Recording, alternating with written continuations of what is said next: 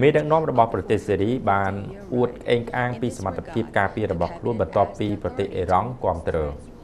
ប្រធានាធិបតីរបស់ប្រទេសសេរីគឺលោកបាសាតអាល់អាសាតបាននិយាយថាសេរីមានសមត្ថភាពគ្រប់គ្រាន់នៅក្នុងការប្រជុំមុខនឹងការឈ្លានពានដែលអាចទៅរួចណាមួយដោយយោធាអាមេរិកខណៈដែលប្រទេសអ៊ីរ៉ង់ដែលជាសម្ព័ន្ធមិត្តចាក់ទឹកមិនលិចនោះបានបដិញ្ញាគាំទ្ររដ្ឋាភិបាលទីក្រុងដាម៉ាស់